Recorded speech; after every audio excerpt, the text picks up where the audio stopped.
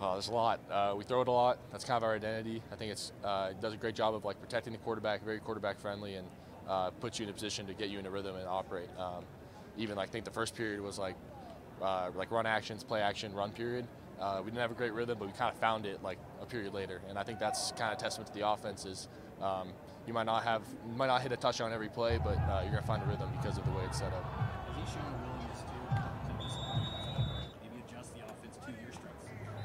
Yeah, we talked about a lot. Um, we're going to do it, you know, that the, that the offense is suited, suited to do and who the players are suited, what, what plays a, the, what plays are suited for each player. So I think um, that's definitely focus of his. Um, again, the offense is the offense, but we're not going to do something we're not good at.